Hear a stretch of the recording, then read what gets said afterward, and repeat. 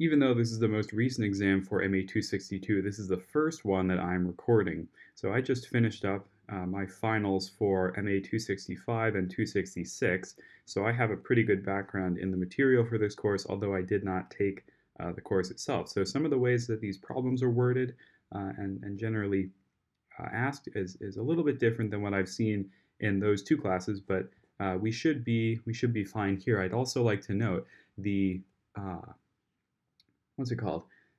The answers for this exam that are online, uh, you know, the, the one connected with this exam form through the past exam archive is 100% wrong.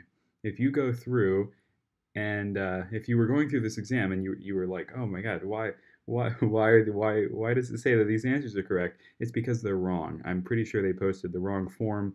Uh, you'll see if you if you uh, take a look at what we do here and then compare that with what the uh, answer answer key says the answers are, you'll see that it is uh, most definitely most definitely wrong. Okay, question one. So we have a first, first order linear differential equation here uh, with x greater than 0, and we're looking for y at e, and we're given an initial condition y at 1 is equal to 1. So let's rewrite this. y prime minus 3 over x times y is equal to x squared. This is in perfect form already to use integrating factor. We know that this term uh, on, our, on our y here, we will call p of x, that's negative 3 over x, and then rho of x, which is our integrating factor, is e to the integral of p of x, so negative 3 over x dx. This becomes e to the negative 3 ln x, or just x to the negative 3. Now we know that uh, with integrating factor, we can say that y of x, our solution, is equal to 1 over rho of x, so that's x cubed, times the integral of rho of x, x to the negative 3, times q of x, where q of x is this term on the right-hand side, x squared dx. So we get x to the negative 1 here, this will become uh, this will become ln x plus c there. And now we can apply we can apply our initial condition y at 1 is equal to 1. So 1 is equal to 1 times 0 plus c. So c must be so c must be 1. We're looking for y at e. y at e will be e cubed times 1 plus 1. That gives us 2e cubed. And, and I, I'm so used to going and checking the answer uh, for these, but uh, nope, we can't. Question two, uh, consider the following three differential equations with that initial condition, y at zero is equal to zero. Which of the following, uh, which of these problems have a unique solution on some interval between a and b containing zero uh, due to an application of the existence and uniqueness theorem?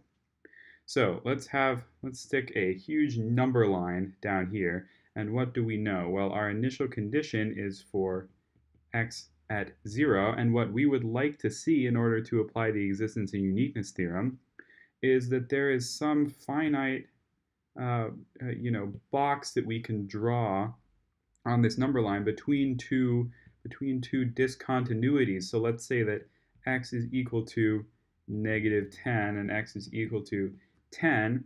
Uh, we're, we're uh, made made our equations up here undefined in some way. And if that was true, then we can say that due to the existence and uniqueness theorem, uh, because we're starting at this point here, we can go back uh, as far as we can before we hit a discontinuity, so all the way back to negative 10, and all the way forward uh, to positive 10, and that would be that would be our interval a and b. So let's figure out how we find these discontinuities. So taking number one, we have y prime plus 2 y to the fourth is equal to x to the fourth. And what we do with all of these is we will divide off anything that's on our highest term derivative. In this case, there's oh, there's nothing. There's a coefficient of 1 on there, so uh, we're good. We don't have to change anything. And are there any discontinuities here that make uh, any anything that's left over uh, undefined at all? Uh, no, no, there are no, there are not. And as a result, as a result, we cannot define a finite bound for uh, this, this rectangle, uh, or yeah, rectangle for between A, A and B. Uh, there is no interval there uh, for which we can apply the existence and uniqueness theorem. What about 2? Well, for 2, we will have to divide off this y cubed to get y prime by itself, and that's equal to sine x over, uh, over y over y cubed. So what is, what is this, what is this undefined uh, for, in terms of x, by the way? Um, uh, because you know th this is this is a number line. This is a number line on x. Um, so this is this is undefined again nowhere. So there are issues there are issues with y, right? But all we care about is x. Sine x is defined everywhere on this number line. So yet again, we cannot identify we cannot identify a bounding uh, rectangle because we don't have any discontinuities as we vary our values of x. Um, additionally, seeing that y at 0 is equal to 0, well, actually, that might not be too big of an issue here. We're, we're not we're not directly solving it. Okay. Anyway, uh, so we can't apply the existence uniqueness theorem for two. What about three? That gives us y prime is equal to sine x. Well, we we said that we said that this thing right here we couldn't apply the theorem for. This thing also uh, we cannot apply the theorem for. Sine x is defined for all x, and so there is no there is no discontinuity here at uh, a or a discontinuity here at b that we can that we can kind of uh, you know, bound ourselves between. So none of these three problems uh, work. What about 3? The solution to y prime is equal to 4x y squared. We are we are solving this. So this is a separable differential equation. So we can rewrite this as dy dx is equal to 4xy squared. And then, let's see, we can divide, uh, we can divide 1 over y prime over here, multiply a dx over here, and now it's completely legal to integrate both sides. We get negative 1 over y is equal to 2x squared plus c. We can rewrite this as negative y is equal to 1 over 2x squared plus c, and we can just move that negative, move that negative over there. Okay, we're told that y at 0, y at 0 is equal to 1. What can we do? What can we do with that information? Um, well, we can plug that in. 1 is equal to negative 1 over 0 plus c. Uh, so c, c must be negative 1. And there is, there's our answer right there, uh, answer choice E. 4. Consider this equation here, which of the following is its general solution? So this is a little bit of a weird substitution that we have to do here. We will be substituting v is equal to x plus y, otherwise known as y is equal to y is equal to v minus x. So that means that uh, y prime, we can just replace that with v minus x prime, where that prime is uh, with respect to x. And so substituting everything here, we have v minus x prime is equal to, well, what's going to be uh, inside this square here, uh, our x will become v minus x. That minus x will take care of the x that we have there, so we get v squared minus 1. Now let's evaluate this left-hand side.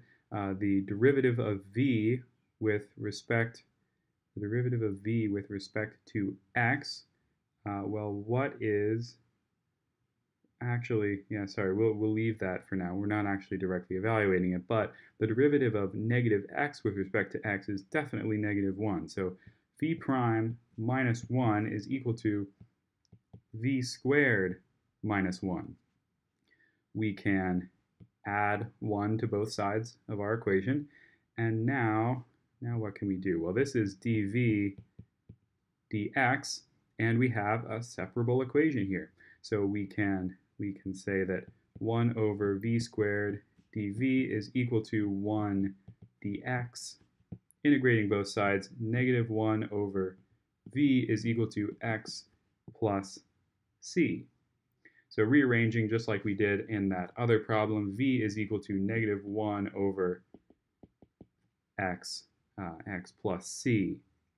And uh, undoing our substitution, finally, v is equal to x plus y, so we can subtract an x there, and we have our solution, which is solution uh, answer choice B. Let's find a general solution to this differential equation. Whenever you see this kind of thing with a bunch of uh, polynomials running around and uh, you know implicitly defined y's uh, in here, and, and also if you see uh, a bigger polynomial set equal to c in your answer choice, you should immediately be thinking, you know, this equation, this equation is probably exact. Well, what does that mean? Well, if we rearrange this, let's multiply this denominator up. We will have dy dx multiplied by x squared plus y. And then this is still equal to negative 2x y plus 1, but we can move that over, and let's put it in parentheses. So we have 2xy minus 1 over there, and all of this is equal to 0. Well, when we have our equation in this form, we can call this portion of our equation m, and this portion n, and if my is equal to nx, that's the partial derivative of m with respect to y, and m with n with respect to x, then our equation is exact and we'll be able to solve it uh, much, much, much easier. So my will give us 2x, and nx will also give us 2x. So our, our hunch paid off. This equation is, is exact. So uh, what do we need to do now? Well, we need to take the integral of m dx and compare it with the integral of n dy. So what's the integral of m dx? That will be x squared y minus x. And then on the other side, n dy will give us x squared y plus y squared over 2. So we see that these two terms are overlapping here, and then we have two unique terms. We will only count the overlapping terms once, and then uh, we can write we can write our solution uh, just like this as x squared y minus x plus y squared over 2 is all equal to some constant c. And there we go. And so what you can do to work back to kind of see where see where this is see where this is coming from is uh, that that this thing right here, its partial derivative with respect to x is m, its partial derivative with respect to y is n. And the reason that this whole check here uh, works to, to tell if, if something to tell us if something is exact is because we know uh, back from from Calc 3 that if you have some kind of uh, normal, you know, we just have a polynomial function here that uh, if we call this, uh, I forget the, I forget what the Greek letter is called, but like the, the pitchfork looking thing, that the partial derivative with respect to with respect to y and x is equal to the partial derivative with respect to x and then y. That's uh, Clairaut's Clairaut's theorem. And where where's our answer choice? We should probably pick that. There we go. It's A. Number six, we have a ball of two kilograms dropped from a height of 10 meters, blah, blah, blah. We're given a lot of initial conditions. We are finding the speed of the ball right before it hits the ground. So one important uh, thing to recognize at the start is that the mass of the ball does not matter at all. Uh, we're not accounting for air resistance or anything, and any ball uh, of any weight or, or mass falling uh, in a gravitational field will fall at exactly the same speed. So we can completely ignore this little data point up here. Now what we'll do, and this is similar to a lot of Calc 3 problems that you might remember, we will start with acceleration as a function of time. That's negative g. So we every every unit of time, uh, we will our, our velocity will gain uh, g units or negative g units of well, uh, meters per second or velocity. So what that means is that we can integrate our acceleration and we'll get velocity. So v of t is equal to negative gt. And uh, we also need to add a initial condition term, but since we're told that our initial velocity is 0 meters per second, that just goes to 0.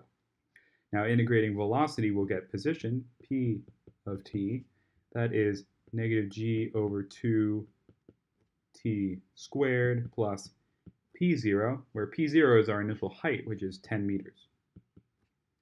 Now when we want to when we want to find the speed of the ball right before it hits the ground, we will need to solve for uh, the time at which that occurs. And that time will be when our position function is equal to 0, so when we're hitting the ground. So we can say that 0 is equal to negative g over 2 t squared plus 10, and we can, uh, let's see, subtract that 10 over, change the sign on both sides, make this a 20, divide it by g, and take the square root, and we don't need a plus or minus because time uh, time cannot be negative. So if this is our this is our time t, let's find the speed of the ball at this time. Well, the speed of the ball is the magnitude of v of t, the absolute magnitude of v of t. That will be uh, the absolute magnitude of negative g multiplied by root 20 over g. Now, this doesn't seem to be any of our answer choices, but uh, let's let's see what we can do here. Uh, we can remove that negative and and the uh, absolute value sign, and then we can factor this g in as a g squared, and so we end up with with 20 uh, root 20 g meters per second right before it hits the ground.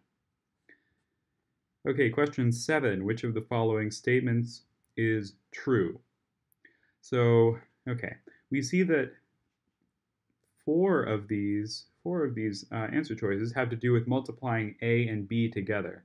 So let's take a, 1, 0, c, 1, 2, 0, and multiply it with 2, 2, 1, 0, 4, 0. This is a 2 by 3 matrix. This is a 3 by 2 matrix, so uh, how you figure out what, what we're going to be left with is these two have to match up for, um, the, the inner two have to match up for the multiplication to even work, and the two that you're left with, the outside ones, uh, will be the dimension of your output matrix. So we get a 2 by 2 output.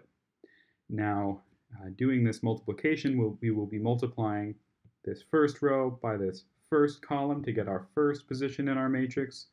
Then We'll multiply the second row by the first column to get our second position, and then we'll repeat that process with this second column over here and this first and second rows to get these two positions in our output matrix. So what do we get here? We get uh, 2 plus c, then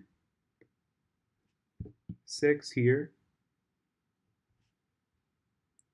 0 there, and 8 here.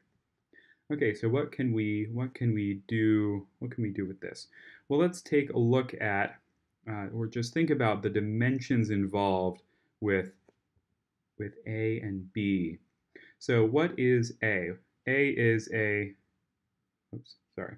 A is a 2 by 3 matrix and B transpose, if we transpose B, let's see, B transpose will just be uh, well, we'll take this first column and make it our first row, and take our second column and make it our second row. So 2, 2, 1, 0, 4, 0.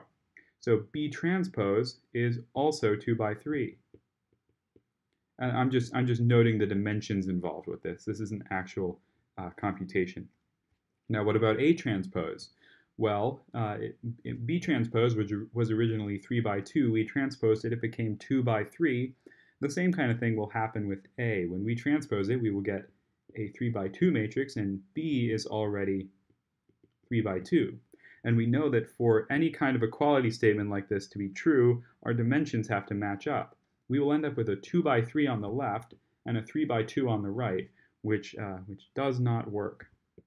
So that cannot be true. Now what about B? Well, uh, if you uh, later on, when we when we talk about inverses in this class, you'll see that uh, AB can only be equal to BA uh, when both matrices are square and they have very uh, special properties relating to related to each other, where one is the inverse of the other. So if you were to visualize the transformation that one does, uh, the other one exactly undoes that transformation. So, uh, but we can talk about just what would why why this is wrong from a dimensional standpoint. We know that when we multiply A and B together, we get a 2 by 2 matrix. So we have a 2 by 2 here, and we're setting that equal to, well, BA, that will be a 3 by 2 multiplied by a 2 by 3. We know that these two middle dimensions have to be the same for this multiplication to work, and the other two that are left, 3 by 3, is the dimension of our output. And no 2 by no 2 by 2 matrix is equal to a 3 by 3 matrix because they just they don't they don't even live uh, in the same space. Now we have a direct rule for why C is wrong. If you take A, B transpose, you get B transpose A transpose. You have to uh, flip the order of the two matrices being multiplied in here. So this is false. Now we're left with uh, D and E. If the 1, 1 entry of AB, so 1, 1 is, is right here, the first row and the first column, uh, if that's equal to 1, then C is equal to negative 1. Well, if this thing is set equal to 1, 2 plus C is equal to 1, then C, yep, C is equal to negative 1. That checks out. Question 8. If AX equals B, where A is a matrix and, B, and X and B are vectors, excuse me, which of the following statements is not necessarily true? So let's map this out. We have A, which is an M by N matrix where M and N can be any, uh, you know, non-zero positive uh, integers. And then we have, oh, whoops, and we have X, which in order for this multiplication to work would have to be N by 1 uh, because it's a, it's a single vector, so we know that it's either a row or a column vector. Uh, in this case, it has to be a, uh, a column vector. There we go, with, with n dimensions, not n dimensions, you, you know what I mean. And then uh, that's equal to b, and b is just going to be formed by these two dimensions that we have left over, so it is m by 1. Okay, and we'll, we'll note that this is this notation is rows by columns. That'll help in a second. So A, if A has three columns, so it is uh, m by 3, then what do we know? Uh, well, they're saying x has to have three entries. That would be true, because in order for this multiplication, ax over here to work, this n by 1 has to match up, or the n in the n by 1 has to match up with this 3. So we have m by 3 times 3 by 1. That's the only way that can work. And we know that a 3 by 1 uh, matrix is just that kind of, like 1, 1, 1, that kind of uh, column vector there. So A, A checks out. What about B? If A has 5 rows, so we have 5 by n, and then this can be n, n by 1 as long as it's the same n, then what are they saying? Then B has 5 entries. Well, that's true. We know that whatever this m is has to match up with, with this m uh, for the b there. So we're left with 5 by 1 right there. So that checks out as well. What about c? What about c? If x equals 0, then b equals 0 regardless of the entries of a. Okay, so I'll step back from the, the computation of this for a second to just talk about what what's actually going on here. So this this you can think of as a linear transformation uh, represented by A being applied to the vector x, which gives you the output vector b. And one product of linear operators, linear transformations, everything that's going on here, is that a linear transformation must map the origin to the origin, which implies that if we plug in the origin, so x equals 0 as our input vector, then we must necessarily get the origin back out. So this, uh, this is true. And this will come in uh, all over the place when we talk about null space and uh, all, all, that, all that kind of good stuff. Now, but null space, though, comes up in D. So if B is equal to 0, then does X have to be 0 regardless of the entries of A? Well, let's test it. What if what if A is a 2 by 2 matrix and it's just 0, 0, 0, 0, and we have some x1, some x2, and this is equal to 0, 0. Does x1 and x2, do they both have to be 0 for this to be true? Uh, in fact, they they do not. We can have we can have 17, 32, whatever whatever numbers you want in there. This will always hold true. And why is that? Well, we could get into the visuals of it and, and talk about how uh, what this matrix is really doing is saying, I'll graph this out. This is saying take the first, uh, oh, I don't know if I'm going too far ahead for you guys, but maybe this maybe this will help. So uh, you can define all of R2, or we, we define our normal coordinates in R2 by two uh, standard vectors. So we have the vector 1, 0, which def defines you know, the unit of length on the x-axis, and we have the vector 0, 1, which defines our unit of length on the y-axis.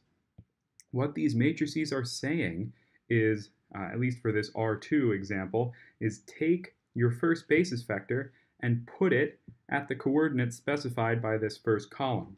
So it will take the first basis vector and map it to the origin. It'll take the second basis vector, uh, likewise, and also map it to the origin using this second column. And so now, if we're trying to, uh, if we're trying to take, we're taking this input vector and, it, whoops, sorry about that. So it doesn't matter what coordinates we try to, we try to plug in here, because we've redefined space based on uh, the, the vectors 0, 0 and 0, 0 for our for our x coordinate and our y coordinate, no matter what we plug in there, we're always going to end up back at the origin. So in this case, uh, in this case, x could be x could be uh, anything. So this guy is not necessarily true. And then E, B is in the span of the columns of A. So uh, the span of the columns of A just refers to the column space of A, and that that's just that's just defined as you know any any output vector that you can get uh, from an input vector in, in this in this sorry in this equation here. So the set of all b that satisfies ax equals b that that is that, uh, spans out the entire column space of a. So yes, that this guy does check out. Or so D is our answer there. Oh my God, there's a motorcycle going by. Okay, nine. We have we have this thing going on here uh, an ax equals b equation, and we're looking for x3.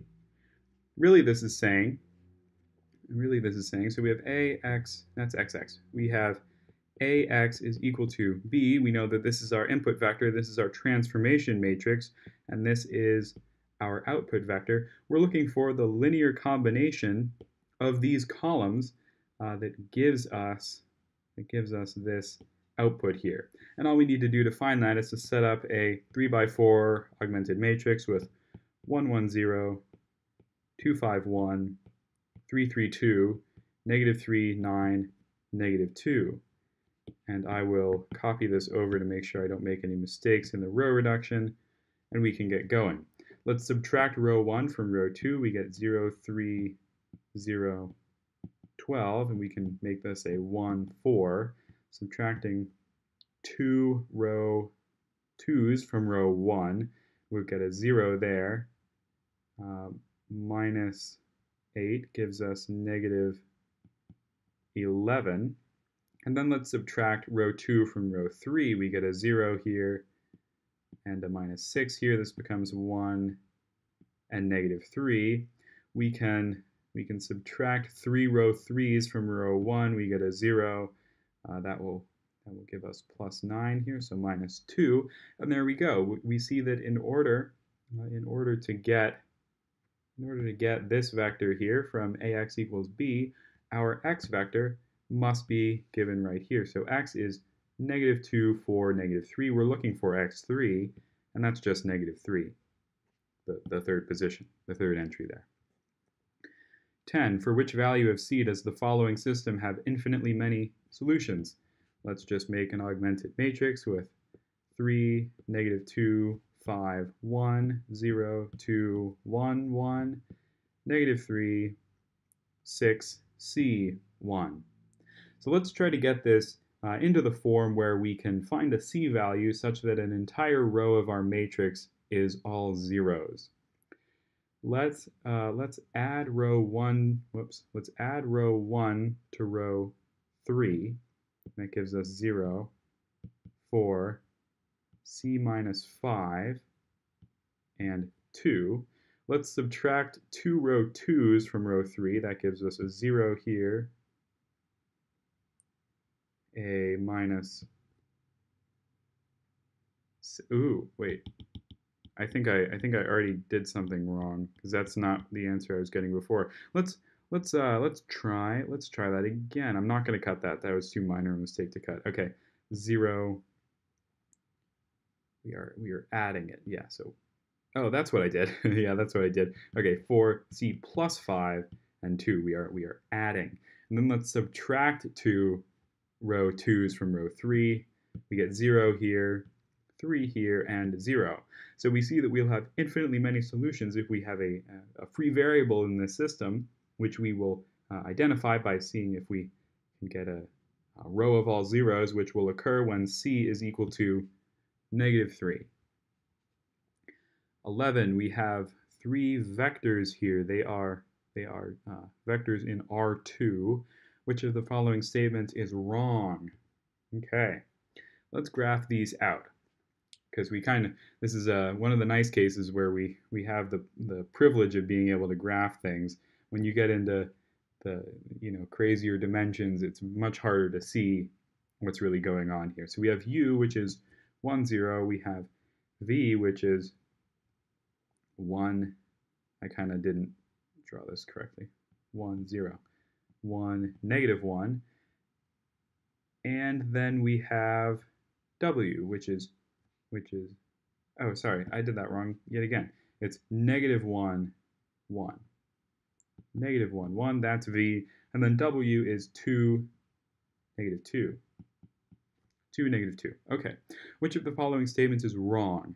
Well, immediately I'm drawn to C, which is our correct answer, and you can really just see that by uh, looking at this graph here. The set UVW is not linearly independent. These two vectors, these two vectors, v and w, are a direct linear combination, or, or sorry, they're, they're a multiple of each other. If you multiply v by negative 2, you get w. And as a result, one lies on the span of the other. The other way that you could solve this without even graphing it out is just uh, thinking about it. So if we had these two vectors here, they are linearly independent. So what do they what do they span? Because they only have two entries, they will span all of R2. They span all of R2 uh, because uh, they, they, they do not lie on each other's span. So, you know, you can get anywhere in R2 with a linear combination of each. So is there any place in R2 to put a third vector such that it is not already in the span of the first two?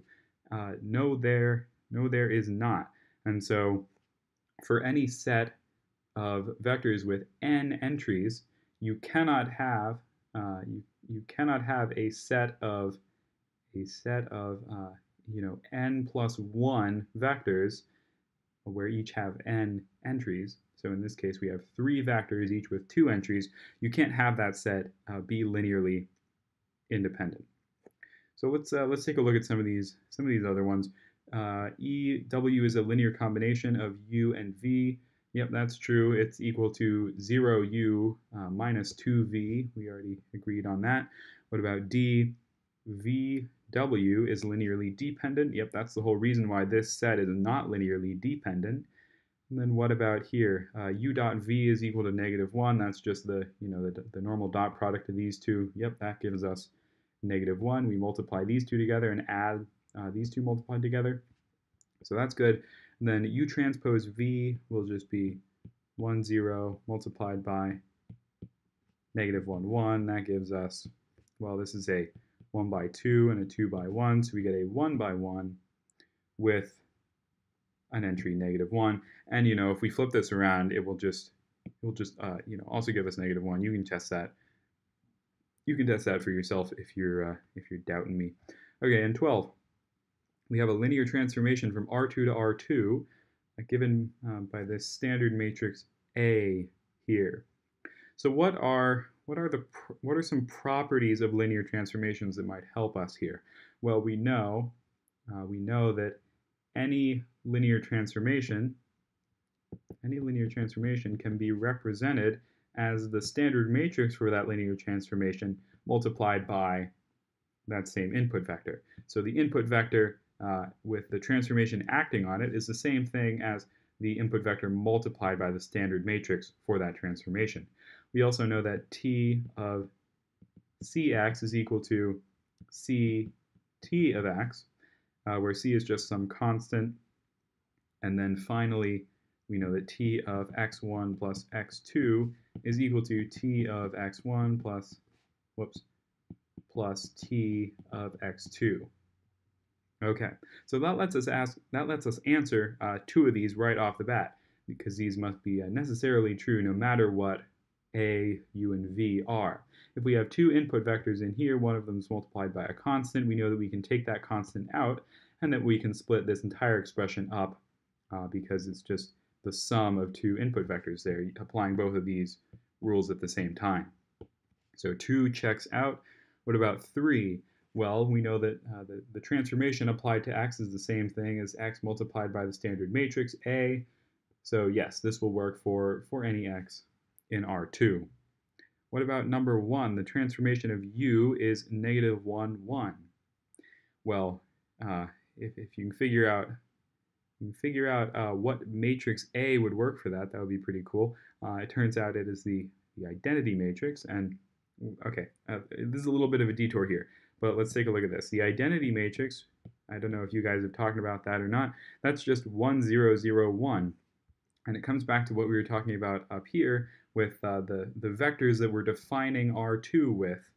And what this would say as a linear transformation is take your first vector at 1, 0, and 1, 0, and don't move it keep it right there, and take your second vector and keep it right there. So our coordinates defined before the transformation will be exactly the same as how we're defining coordinates after the transformation. So this, uh, the transformation of u, which is negative 1, 1, that would only end up being exactly the same if, uh, if A up here was uh, that identity matrix, but it's not. And if we apply the transformation 1, 0, 1, 2, to the to the to the vector negative 1 1 we're going to get another 2 by 1 output which gives us 0 2 which is uh, you know no good. Okay so 2 and 3 2 and 3 is our answer and we are done. So the only question that I'm a little bit iffy on because I'd really like to see the answer choices is uh, this one. This is a little bit weird as far as existence and uniqueness theorem problems go but other than that, um, yeah, there, there we go.